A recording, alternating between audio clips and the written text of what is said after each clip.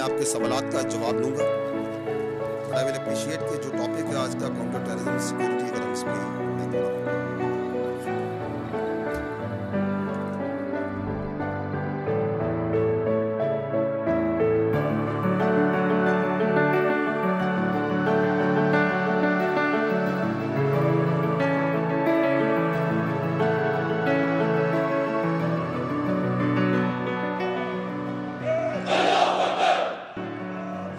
असलकुम पाकिस्तान बायोग्राफी की नई वीडियो में आप सबको खुश आमदीद। नाजरीन, आज की वीडियो का मौजू जो शख्सियत है, उनका नाम है अहमद शरीफ चौधरी।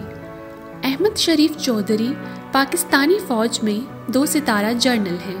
वो इस वक्त 6 दिसंबर 2022 से आईएसपीआर के 22वें डायरेक्टर जनरल के तौर पर खिदमत अंजाम दे रहे हैं।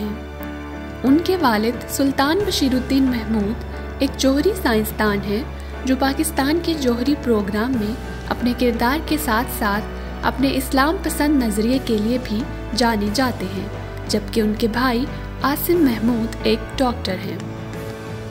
अहमद शरीफ चौधरी की इब्तदाई तालीम और फौजी सफ़र की बात की जाए तो Ahmed Sharif Chaudhry E M E corps से हैं और इससे कबल डिफेंस, साइंस और टेक्नोलॉजी ऑर्गेनाइजेशन के डायरेक्टर जनरल के तौर पर खिदमत अंजाम दे चुके हैं। इससे कबल जनवरी 2020 में उन्होंने अहदा संभाला और बाबर इफ्तार की जगह ली। उन्होंने Pakistan military academy, P M A, command और स्टाफ कॉलेज कोयटा और जर्मन स्टाफ कॉलेज में तालीम हासिल की, जिसमें वो तमाम बैन अवी अफसरान और दिफाई यूनिवर्सिटी इस्लामाबाद में सर फहरिस्त रहे। वो इलेक्ट्रिकल और मैकेनिकल इंजीनियरिंग कोर के पहले फर्द हैं, जिन्हें D G I S P R तैनात किया गया है। मेजर जनरल अहमद शरीफ चौधरी की आई एस पी आर की तकर्री की बात की जाए तो नए army chief general Asim Munir की कमान संभालने के बाद पहली तब्दीली में मेजर जनरल अहमद शरीफ चौधरी को director general inter services public relations, यानी बैन खदमाती मालूम आमा के D G I S P R तैनात कर दिया गया। पाकिस्तानी फ़ौज के मीडिया विंग के ऑफिशियल ट्विटर हैंडल में कहा गया है कि उनकी तकर्री 6 दिसंबर 2022 को हुई थी, लेकिन माजी की तरह कभी भी सरकारी बयान में इसका ऐलान नहीं किया गया। मेजर जनरल अहमद शरीफ चौधरी जो इससे कबल डीजी डिफेंस साइंस और टेक्नोलॉजी ऑर्गेनाइजेशन डेस्टो के अहदे पर तैनात थे, ने मेजर जनरल बाबर इफ्तार की जगह ली है, जिन्होंने जनवरी 2020 में लेफ्टिनेंट जनरल आसिफ गफूर से ये अहदा संभाला था। आपको मेजर जनरल इफ्तार के बारे में बताते चलें कि मेजर जनरल इफ्तार ने मार्च 1990 में छः लांसर में कमीशन हासिल किया था। कमांड और स्टाफ कॉलेज कोयटा कौमी दिफाई यूनिवर्सिटी इस्लामाबाद और रॉयल कमांड और स्टाफ कॉलेज उर्दन के ग्रेजुएट हैं। उन्हें पाकिस्तान के अंदर कमांड स्टाफ और तदरीसी किरदार का नुमाया तजर्बा है।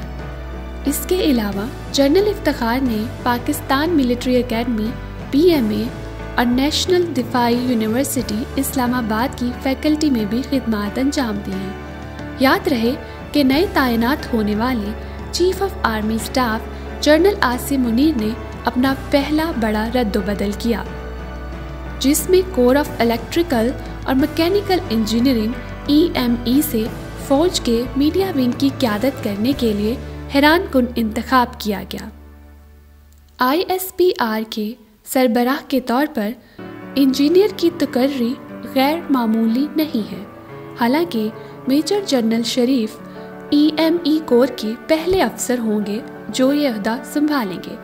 आईएसपीआर के नए टीजी की तकर्री को बड़ी दिलचस्पी से देखा जा रहा है, क्योंकि बहुत से लोगों ने इस बात का इशारा दिया था कि नए आर्मी चीफ फौज के मीडिया विंग के काम में बड़ी तब्दीलियाँ ला सकते हैं।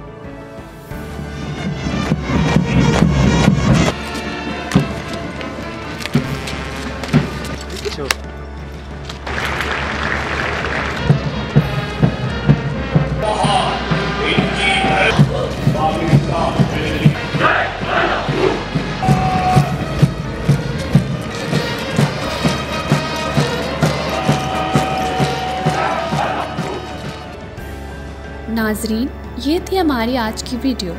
उम्मीद करती हूँ कि आपको हमारी दीगर वीडियोस की तरह ये वीडियो भी मालूमती लगी होगी और पसंद आई होगी। लाइक का बटन ज़रूर दबाइए और अपने साथियों के साथ ज़रूर शेयर कीजिए और हमारा चैनल सब्सक्राइब करना मत भूलें। शुक्रिया। अल्लाह हाफिज़।